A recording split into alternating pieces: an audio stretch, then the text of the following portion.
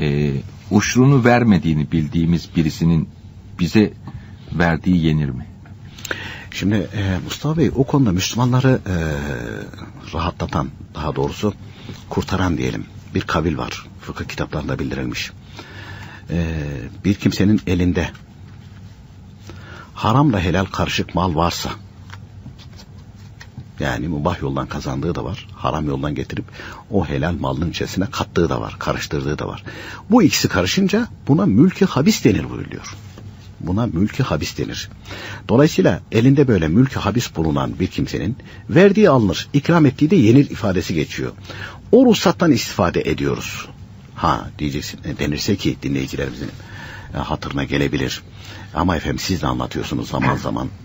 E, mesela büyüklerden, evliya-i kiramdan hatta e, mezhep imamımız İmam-ı Azam Ebu Hanife radıyallahu teala Küfe'de bir koyun sürüsü çalınmış o koyun sürüsü çalındıktan sonra yedi sene İmam-ı Azam Ebu Hanife radıyallahu teala an koyun eti yememiş. Yani bir koyun en fazla işte o bölgede yedi sene yaşıyormuş.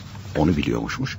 Bunun için de ola ki o çalınan sürüden birisi kasaplara iner veya bir başkası alır ve netice itibariyle kesilir ve onun etinden yemiş olmayayım diye yedi sene koyun eti yememiştir.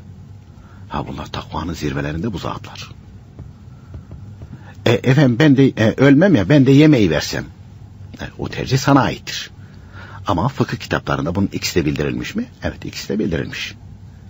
E, bir azimet yolu var bir de ruhsat yolu vardır. O mülkü habis olan maldan verildiği zaman yenilebilir. O da ruhsat yoludur.